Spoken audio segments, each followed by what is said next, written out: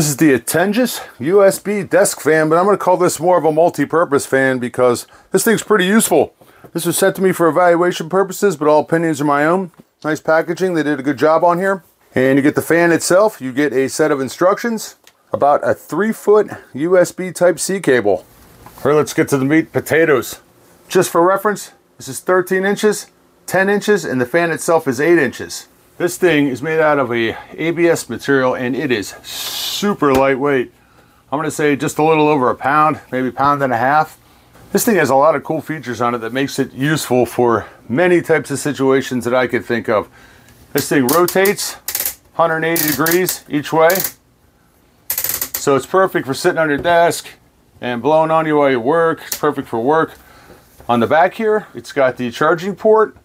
Now, if you use a 5 volt 2 amp charger, like it says on here, you can actually charge this and use it at the same time, which was something I was wondering about.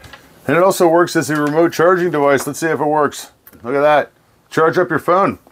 Along with that feature and the fact that it also has a 2 intensity lamp on here, it makes this perfect for camping. Or just sitting out on the back porch on a warm summer night. Got your own personal fan. This thing's light enough, you can take it anywhere.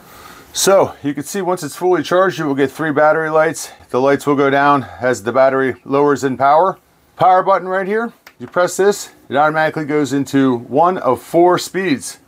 So speed one, two, three, and four. And let me put it on the lapel mic. I'm surprised that something so light kicks out this much air.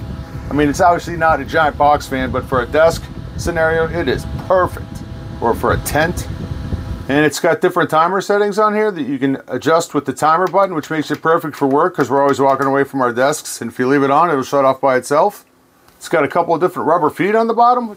Another thing you might be wondering about is how do I clean this? Well, once it shuts itself all the way down, if you just put your hand on the fan and spin this to the left, you can remove the front cover, clean the blades, just got to line this back up the right way and then spin it to the right and it locks it back into place.